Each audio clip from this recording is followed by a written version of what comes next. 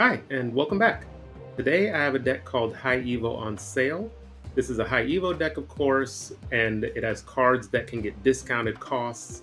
My rank is 6,355, and we will see how high we can climb. I think I float.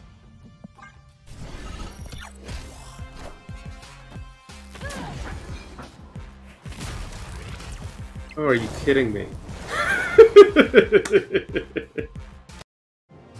Alrighty, first up we have Fly. My starting hand is pretty good. Sunspot, White Widow, Hazmat. The big house is a very good location for me. I think I will play, because I have cards, that, big cards that can get discounted. Under normal circumstances, I would play Sunspot into the big house, but because we can get big power in there later, that's the route I will take. So my next turn with Abomination in hand, I want more cards on their side of the board. So I I think I'm going to pass. That way next turn I can play White Widow and then presumably they will have more cards. Okay, more discounts. This is exactly what this deck is built for. Uh, this is going to be an odd game. Uh, do I snap now? Abomination should be free next turn. I will have a Widow's Kiss down, Ant-Man, two Raptors. So I'm in a very strong position. I'm going to snap. I'm going to play White Widow down here, block more of what they want to do with Ant-Man. So it's really just a rock I'm sending them. It will be zero power. This is also a Spectrum deck, and the Widow's Kiss is an ongoing. Oh, fantastic block. So we robbed them of, of a... Maybe this isn't a... Uh, a Spectrum deck. So this is shaping up very nicely because I'm going to play Hazmat and then I can skip next turn. Or do I not skip next turn? Maybe I play Mockingbird now. I play Mockingbird now. Abomination will be free. I could play She-Hulk next turn. If I have two, She-Hulk will be four. I'm just going to see how this shakes out. We will play I'll play down Mockingbird now.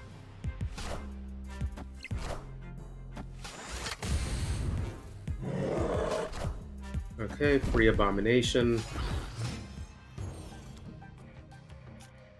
Okay, we definitely soak now. She-Hulk will be one. I can rogue their Dazzler potentially. Abomination, of course, is free. So we will just skip.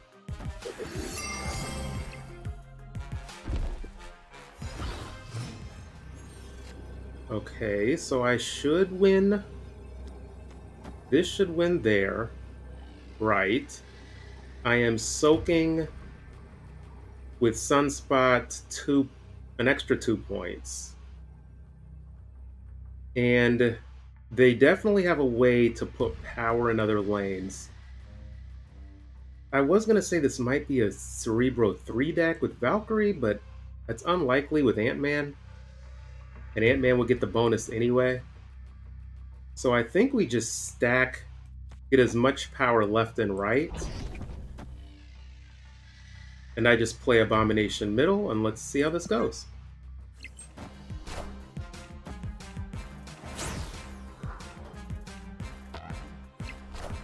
That's a big flip right.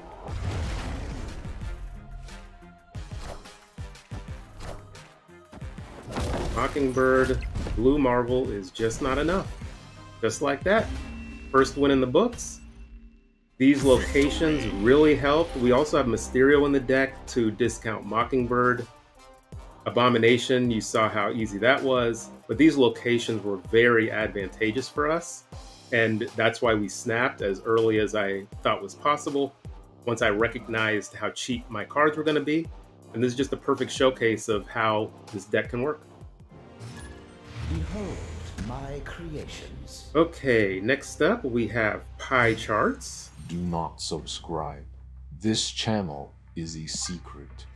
We are set up decently for a White Widow into Cyclops. And I think I will just play out White Widow now. Yes, White Widow now.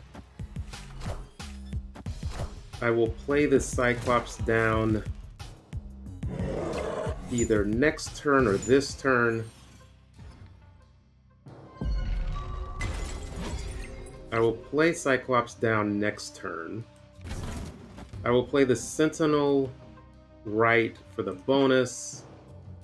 The reason I'm playing Cyclops down on turn 4 is I want the trigger to be unexpected. If you play Cyclops on 3, they have time to shift and avoid the first hit that Cyclops will give them. So we will not do that. Or maybe I play Cyclops right, because then I would be denied a draw if I don't. So I think that's what I do. I can always get power, more power left later if I need to.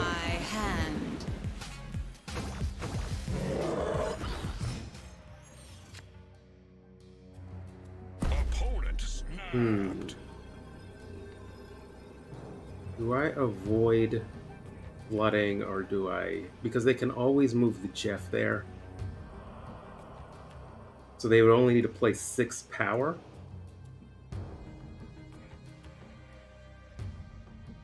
I think I float.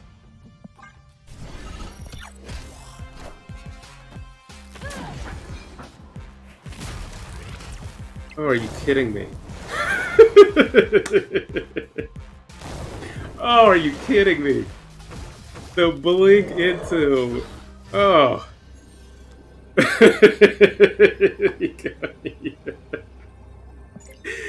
oh boy. Oh, they got me. The blink into storm, pure flooded. Escape. Oh, what a game. Okay, we're up against Luke 3 Tuh. We get Sunspot down first. We do have White Widow and Cyclops, which are both fantastic.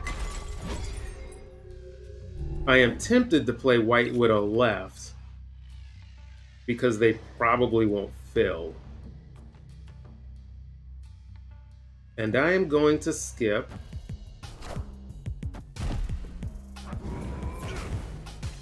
Okay, they have Red Hulk, which is a direct counter to this deck.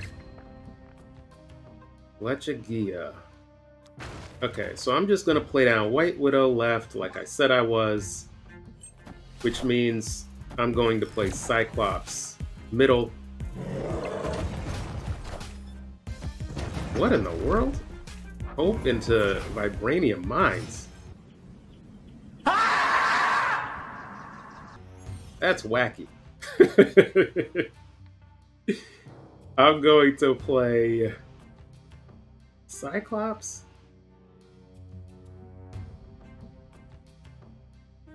Hmm. Do I have the tools I need? I don't want priority. This is my problem. I want to be able to Shang. So I'm going to play into Vibranium Mines again. I figure they're going to play... Yeah, they did. But boy, this is a lot of Vibranium. And then Kitty. And then maybe they're going to play an early Maybe they're gonna play an early uh, Red Hulk. But they might play an early Red Hulk, and I, I think I want to snap into that.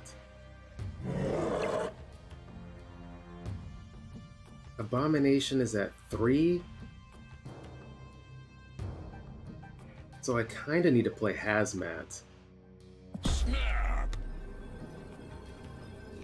gonna snap. I'm just gonna keep filling up my.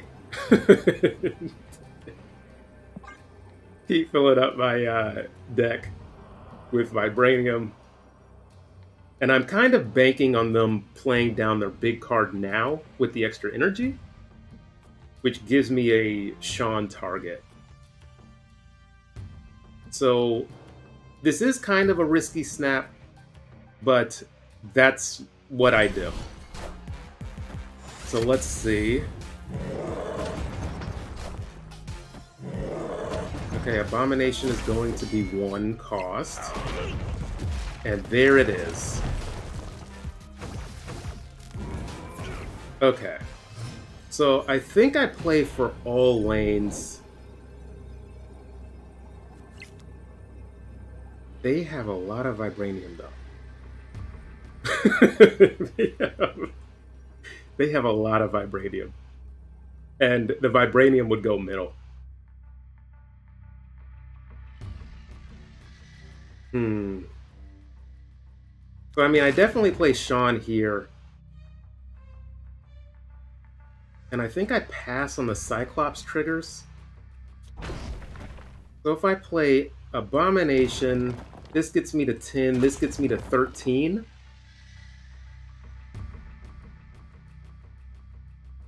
So I think this should be enough. Okay, let's order for maximum effect. We play the Vibranium first. We play the Abomination next, and then we finish with the Shang. And again, I'm abandoning middle because it is likely that that is where they would put the Vibranium. And that is, they put the Doombot there. And just like that, we properly assessed what they were doing. They walked right into a Shang-Chi. We put the power where it needed to be, our discounted on sale power. And we got another win.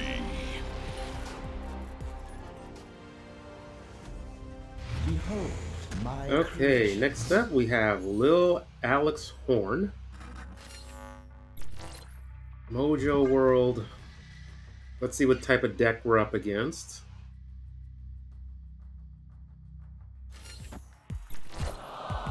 We are up against a Loki deck, so they definitely can fill left. So I probably give up on left. I will play the Mysterio down right. We will just think that the right location is fine. We get the plus two from Panopticon.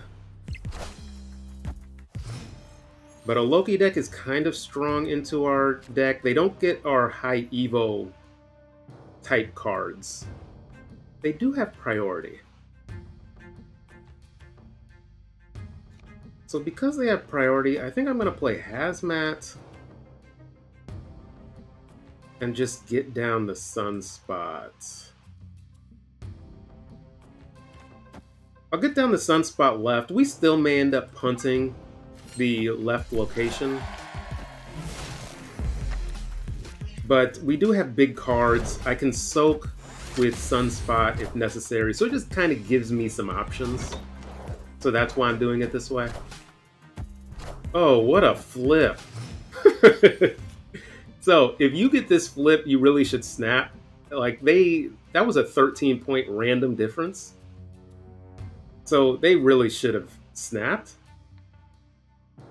Uh, turn four. I don't have much to do. I think I will play... I'll just play out High Evo. Right. This, of course, is going to be my Shang lane.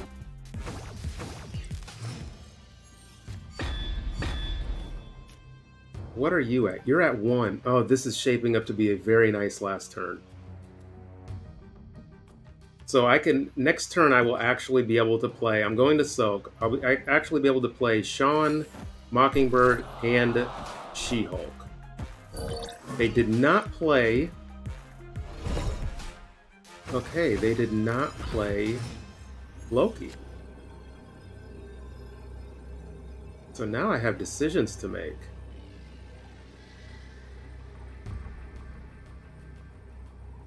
This Mysterio is actually three, so I'm at plus four. So I'm at eight here. A Shang here would put me at 11, and they're at two.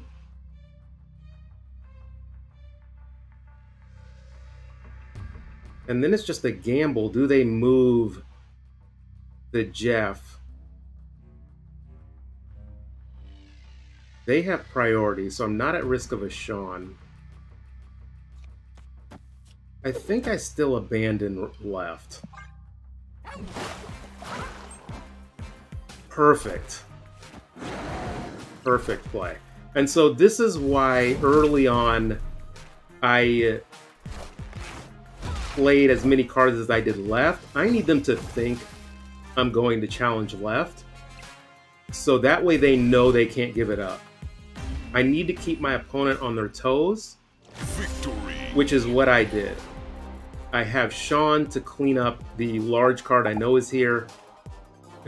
and, and uh, I went hard middle with the discounted cards. That's why this is a high Evo on sale. And we gave up left, hoping they would commit left, which is exactly what they did. My creation. Okay, we have Squanchinator, Mockingbird, White Widow, and Shang. The Widow's Bite also discounts Abomination, which is interesting. Quinjet, so we have a Loki deck. Kyln is actually nice. So I'm just going to put Sunspot there. And we will soak a bunch. I may put the White Widow down now, middle also. So even though it'll be zero, because if they don't play now, I could actually sneak the Abomination in, because the Abomination will be four cost. So do I snap into this?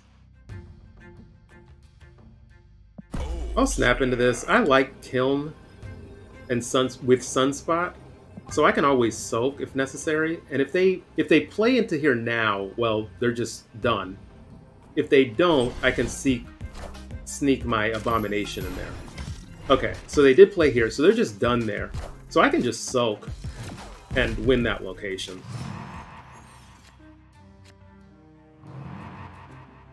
And I think that's what I do. So I might actually soak for two turns. We will see because on the last turn I could play Mockingbird and or Abomination and She-Hulk. I could play Shang and She-Hulk. So I will have options.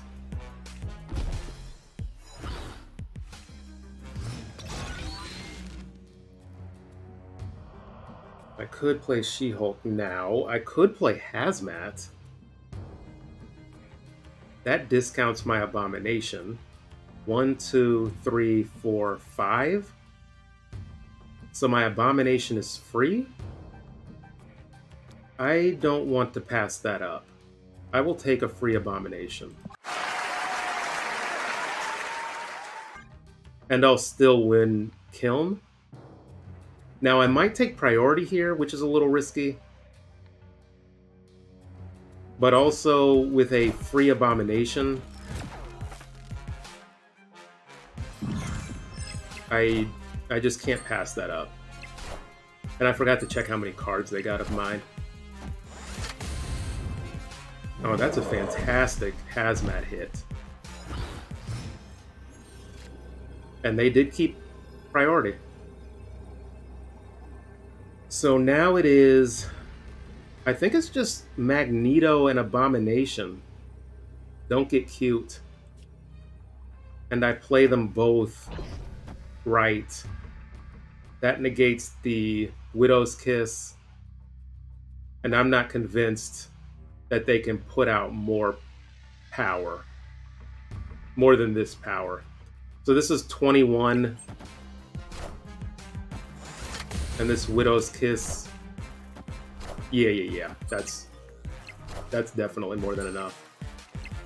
And it would have been more than enough We left as well, actually. There you go. Discount coming in handy.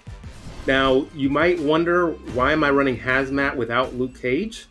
Victory. And this is why.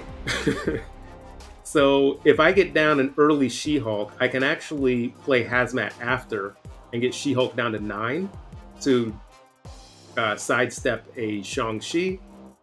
But also, as long as the opponent just has more cards on the board than me, the Hazmat is actually worth a bunch more points for me, even even though I'm not running Luke Cage. And yes, Luke Cage could double that amount but I find it's kind of unnecessary, especially because we're getting a discounted Abomination.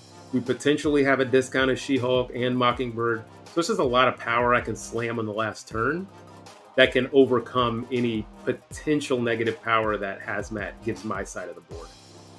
Okay, so we broke into top 6,000. We are 5,800 and change. We started in the 6,000, so we've definitely gained some more ranks.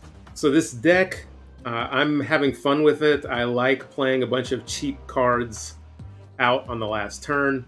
We have Rogue in this deck to fight back against potential Mobiuses, against potential Luke Cages from the enemy's side, as long as they play them down early-ish. I have three cards that can get discounted heavily. We have Abomination through the Negative Affliction. We have Mockingbird through Mysterio and other locations like Monster Isle, Island, like Central City with the squirrels. We have She-Hulk where I can skip turns to discount her. Sunspot can soak up that energy. I have White Widow to junk up my opponent. I have Cyclops to give more negative affliction. There's just a lot to do here. For some substitutions, you can substitute Magneto out for uh, High Evo Hulk. You could maybe find room for a Wasp. Uh, if you're feeling bold, you can exchange out Rogue or maybe even Shang-Chi. Uh, but I found having those two tech cards are good for the last turn, especially Shang, because you can play him down. You sometimes have a one cost She Hulk, you have a one or zero cost Abomination. So that's just a big point swing when you factor in Shang-Chi. And then with Rogue, you have ongoing decks, which you can, of course, steal their ongoing power and buffs Patriot, Devil Dino, Darkhawk. You can also, again, use her as a more of a tech card. You can shut down opponents Mobius, Luke Cage, uh, and so on and so forth. So this deck kind of has some flexibility.